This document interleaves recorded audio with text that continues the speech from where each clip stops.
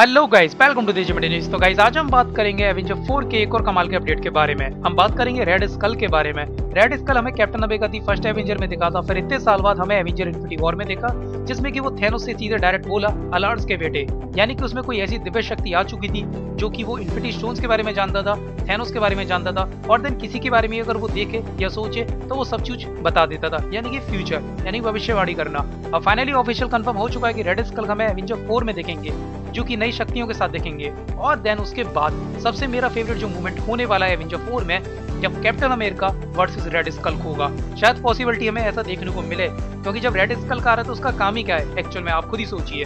तो red school तो एक ही टारगेट होगा, वो होगा कैप्टन अमेरिका तो पॉसिबिलिटी ये है कि शायद कैप्टन अमेरिका को रेड स्कल मारे या थैनोस मारे। कैप्टन अमेरिका सेक्रीफाइस कर ले, कुछ भी हो सकता है एनीथिंग क्या लगता है आपको कमेंट सेक्शन में ज़रूर बताना। तो कैसा लगा अपडेट अगर आप ये वीडियो यूट्यूब पर देख रहे हो, मेरे चैनल को सब्सक्राइब करें फेसबुक पे देख रहे हो पेज को लाइक करें रियली में आपको ये वीडियो पसंद आया तो प्लीज़ लाइक कमेंट शेयर करो। जो बंद इस वीडियो को नहीं देख रहे या तो उस पैर मैन के हाथ मारो, या पैर मारो, और आपको में मारना बाय बाय चारो